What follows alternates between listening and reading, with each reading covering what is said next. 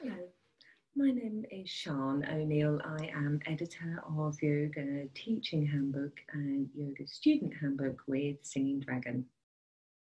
So today I'm going to be offering a short, soothing and relaxing practice.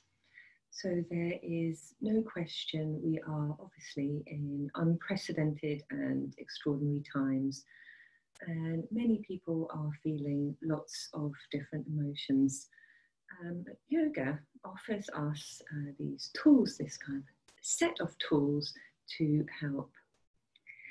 Um, just a quick word before we start if you have any pre existing injuries or conditions, including pregnancy, please consult your healthcare practitioner first. Uh, and also, although this goes without saying in every class, um, perhaps particularly so for this medium, um, please, uh, with the practice, take what serves you. So if anything doesn't feel right, uh, give it a miss. We're going to be working with a mudra, a hand gesture called Unshakable Trust. So if you interlace your fingers, top parts together, we'll place it in front of the heart. So this represents strength, uh, inner strength, confidence, but also a sense of something greater than us. And we'll be weaving that into the postures. So, finding a comfortable seat, you might want to get, um, you might, well, of course, not have a yoga block to hand, uh, but you might have books you could use or a cushion if you feel you would like to have some height help you stop rounding backwards. You can bring the fingertips to the side, sit nice and tall.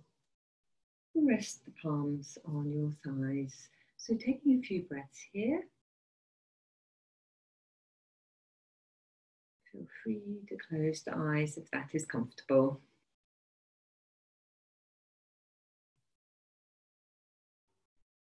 Taking a few breaths to settle, to arrive.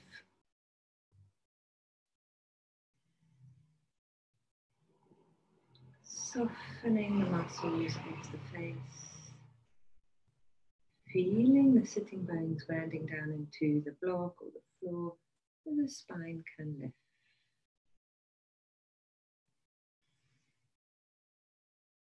Gently open the eyes, inhale, shoulders up to the ears, exhale them round.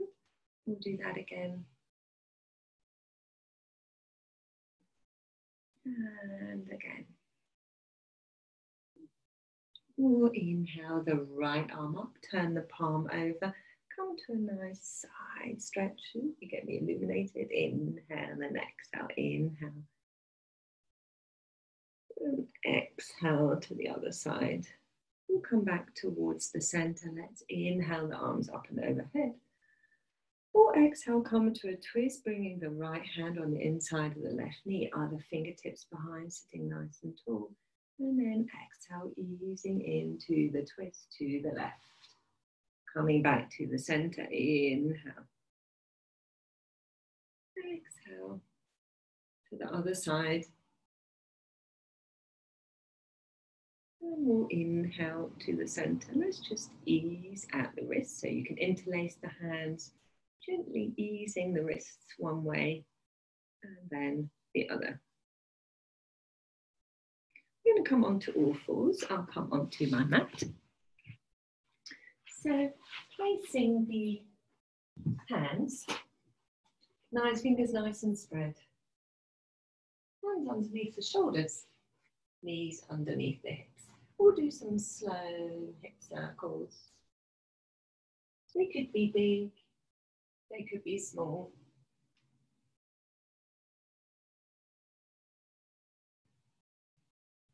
Coming back onto all fours, we'll inhale, dip the lower back, looking gently forward.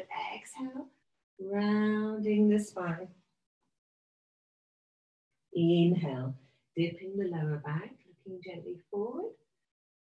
Exhale, rounding the spine, so you're pressing the ceiling away with the spine. Feel free to gently turn the head at the end of the exhale. We'll do it again. So simple cat cow, waking up the spine.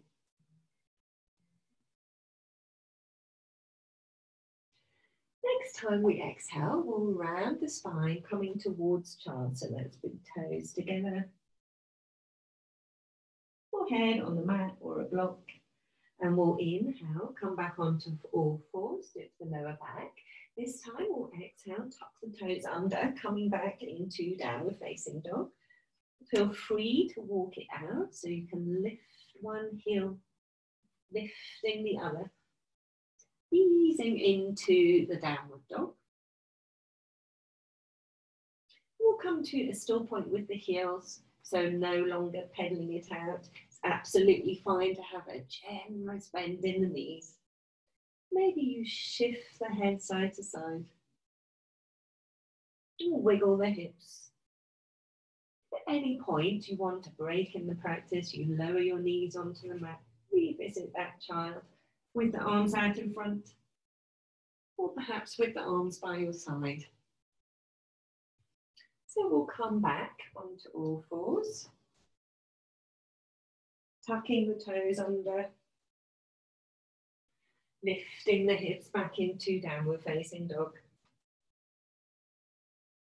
Nice inverted V. We'll step the feet back a little bit.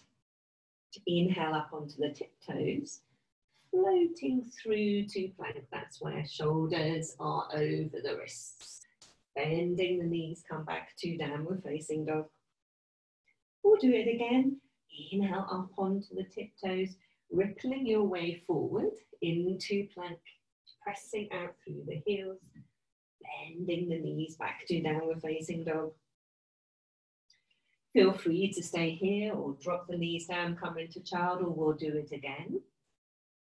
Coming through into plank, nice strong line, just gazing ahead of the mat. Exhale back to downward facing dog. Let's do lion's breath here. So you inhale as you exhale, you stick the tongue out, looking towards the third eye. So we'll do that a couple of times. Feel free to lower the knees if you'd like a break. Otherwise, inhaling, sticking the tongue out, looking towards the third eye. So no one can see us here. Uh, feel free to go crazy. Inhale. Exhale. That's it. Coming back to breathing normally again. We'll inhale, lifting the right leg and we'll bring the knee in towards the chest, placing the foot in between the hands so you can shuffle it along if it doesn't reach. Grab the left hand or fingertips on the floor. Inhale, lifting the right arm. So coming towards a twist towards the right. Lowering the top hand down, coming back to downward facing dog. We'll inhale, float the left leg up bringing the knee in towards the chest, placing the foot in between the hands. You can pick it up and place it there or shuffle it along. Right hand down, inhale, lifting the left arm, so opening up the lungs, opening up the chest. Gently lowering the top hand down, coming back to downward facing dog. Old friend, the dog. Then we'll slowly walk the feet towards the hands. You can keep the knees nice and bent till you get to the point where you can drape the body over the legs. Good to have a big bend in the knees, feet parallel. Then you take hold of opposite arms. Gently ease out the head and neck. Maybe we go, yes, yes, yes no, no, no. And drop the arms, change the cross of the arms. So the weight of the head is drawing the spine down, extending the spine down, increasing the spaces between the vertebrae. Then we'll draw the navel in, curl up to standing.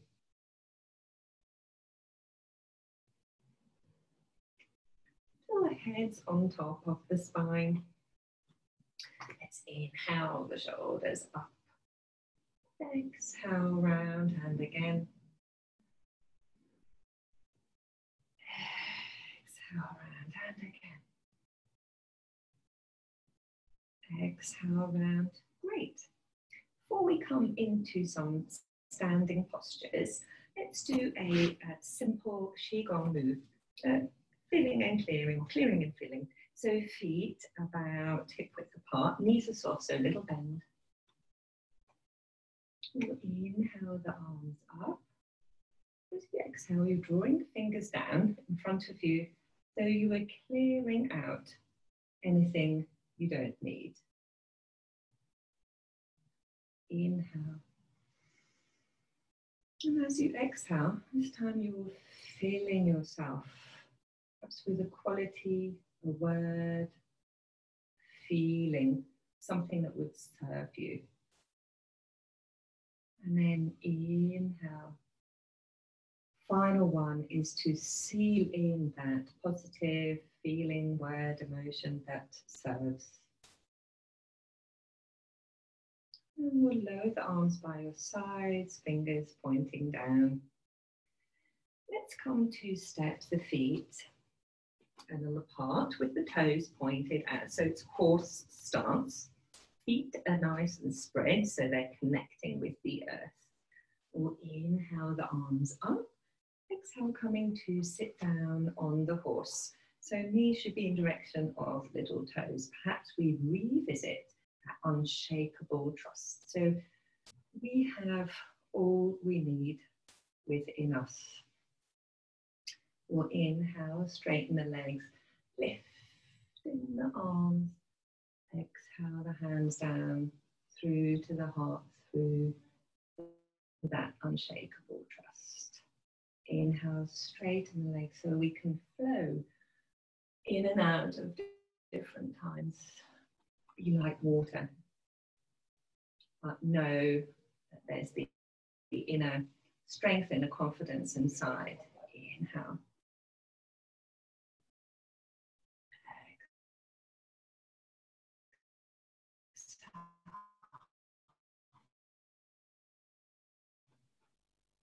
And we'll release the arms.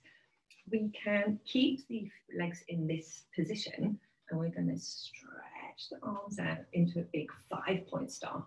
Lifting up through the hands, lifting through, straightening the legs. Maybe a little gentle back bend. Inhale. As you exhale, bending the knees, coming to give yourself a hug.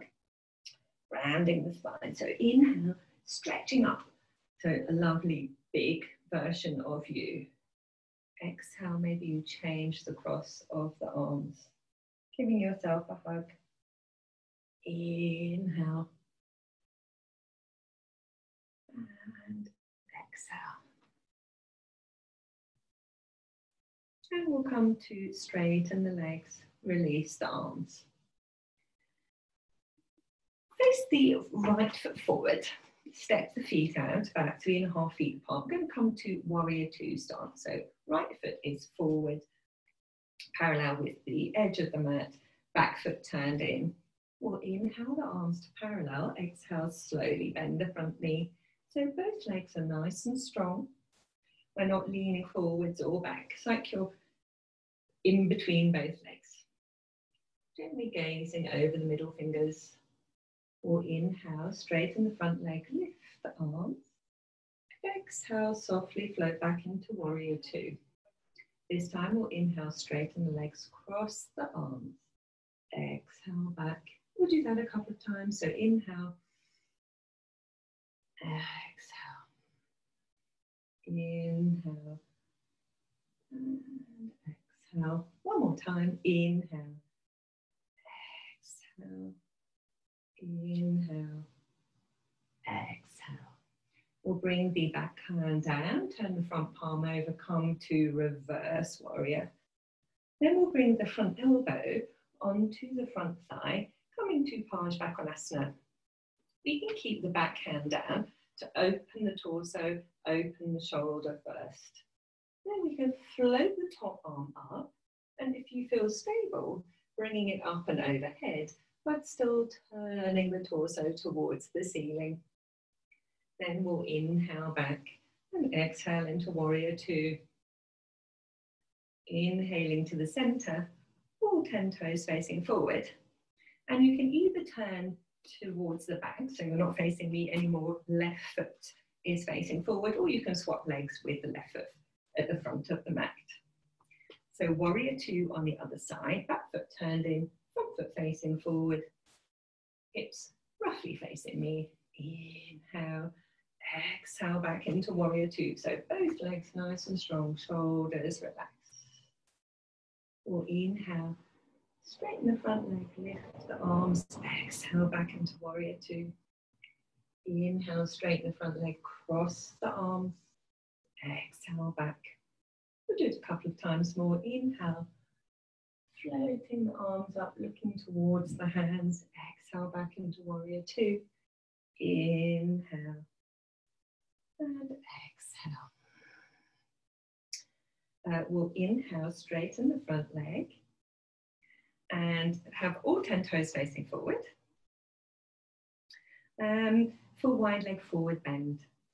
So it might be that um, it, the feet feel a little bit pigeon-toed or the heels are um, a bit further out than the toes to get the feet parallel. So we'll have the hands on the hips, lifting up through the torso, and we'll exhale, hinging at the hips, coming to forward fold. Let's come to a kind of quadruped position, fine to bend the knees, where the fingers are out in front. We'll inhale, lengthen along the spine here. Exhale, walk the fingers back.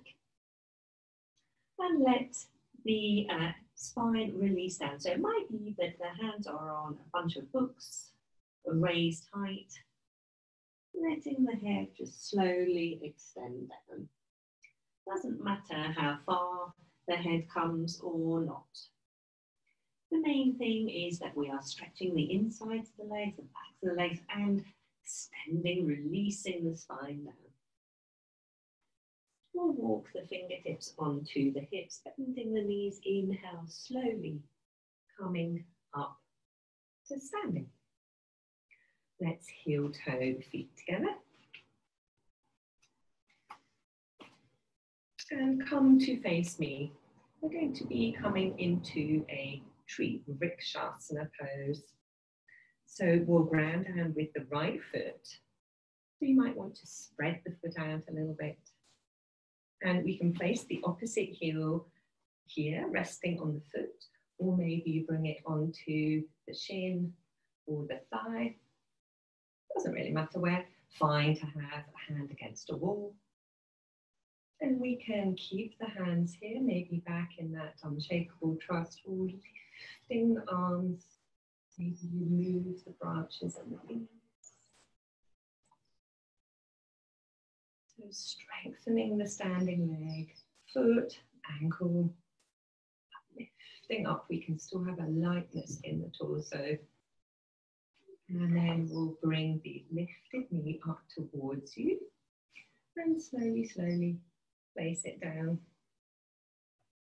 Coming to balance on the other side. So grounding down with the opposite foot. We can start and stay here. That's totally fine. Or we can come to place the foot anywhere that feels comfortable for you. This knee going out to the side as far as it's comfortable also. Choosing where you'd like your arms.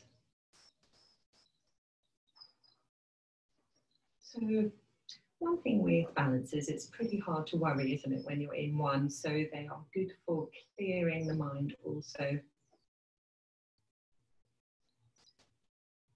And we'll slowly release the arms, hug this knee in towards you. And slowly, slowly place it down with control. And we'll shake everything out. Going to come down towards uh, the mat now, also via a gentle balance. So feet hip width apart, knees a little bit soft bent. That is bent. So we'll inhale, float the arms up. As you exhale, just as though you were painting the screen with the fingers. So inhale.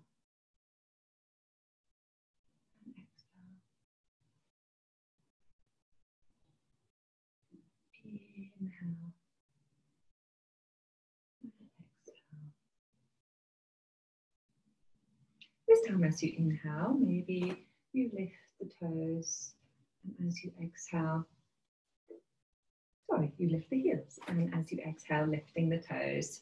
So inhale, lifting the arms, lifting the heels. Exhale, lowering the heels, lifting the toes. We'll do that a couple more times. Inhale. Exhale. Inhale. And exhale. This time, as we come up, But as long as the knees are happy, we're going to come down towards the floor with the heels raised. So nice and slowly, full control, to come down towards the mat. So we'll come down to sitting. Feel free to sit on a block if you find yourself rolling backwards. Because that will stop us from bending from this, the uh, back rather than from the hips. We're going to come into Janu Sirsasana. So with the right leg stretched out in front, toes pointing up, knees pointing towards the ceiling, we'll bring the left knee out to the side, foot against the right thigh. Start off with a twist. So I have the right hand on left knee, other fingertips behind. Inhale, sitting tall. Exhaling towards the left. Then we'll come back to the center. Place the whole body over the outstretched leg. Inhale here exhale, come into a forward fold. You might find that the hands are closer towards you so that you're focusing on extending the spine upwards rather than rounding the spine. Taking nice smooth breaths in, nice smooth breath out.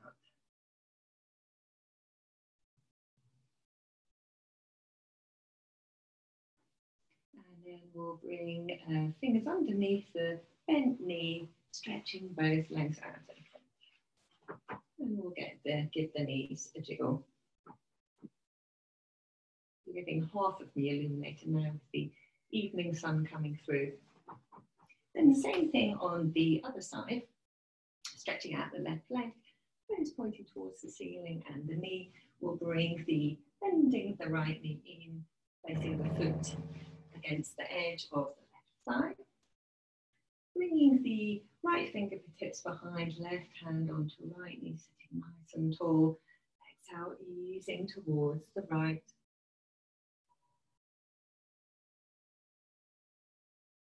And we'll inhale back to the center. And we'll, as you exhale, hinging in the hips, coming to forward fold over the outstretched legs. So maybe we try not to grasp for the foot, but concentrate on prioritizing length in the spine.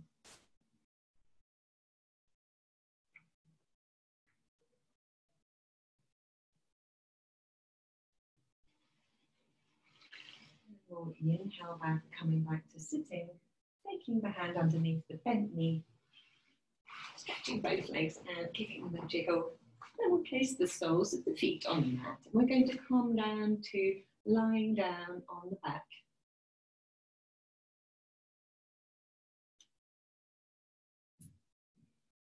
Now shuffle the feet a bit further away from you and as wide as the mat. We'll have the arms out to the sides. We'll inhale here. As you exhale, let both knees flop over to the left. Inhale to the center and exhale, flop over to the right. So simple windscreen wiper legs. Inhaling to the center. Maybe as you exhale, you turn the head the opposite way.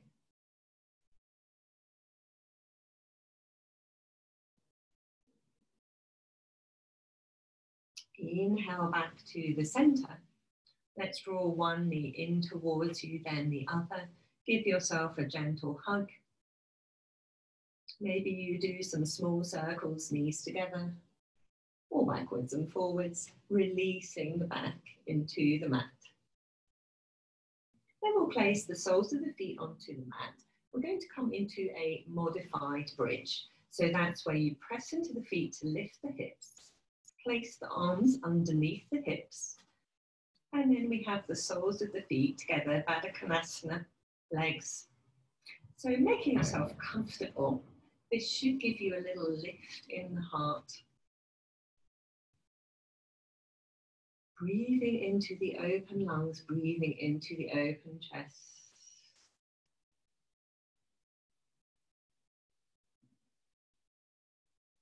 If the legs feel uncomfortable at any time, you can draw them together.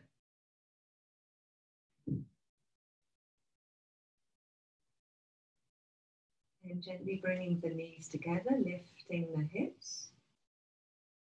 Letting the back settle onto the mat.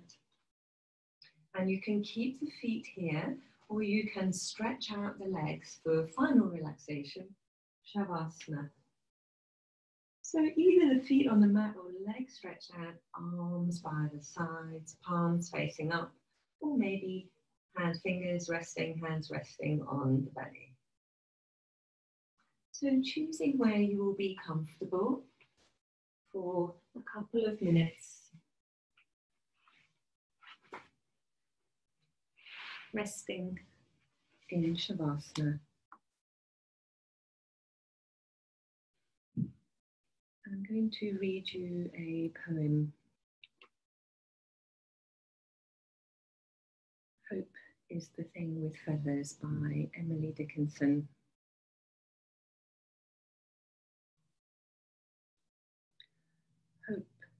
Is the thing with feathers that perches in the soul and sings the tune without the words and never stops at all and sweetest in the gale is heard, and sore must be the storm that could abash the little bird that kept so many warm. I've heard it in the chillest land and on the strangest sea, yet never in extremity it asked a crumb So resting for a few moments more in Shavasana. Then I'll come and bring you out.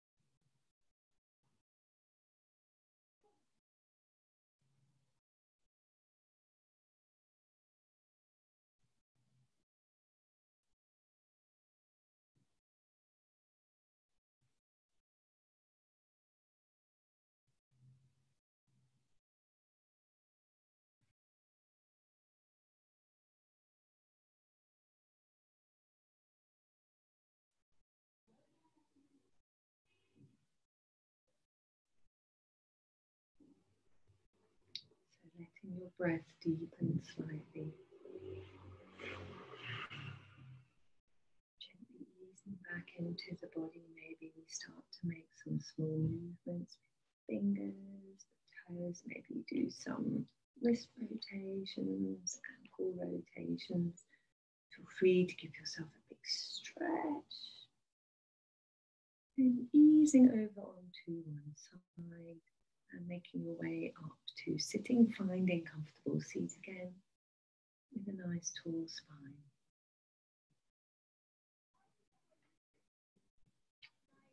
inhale the arms up and overhead.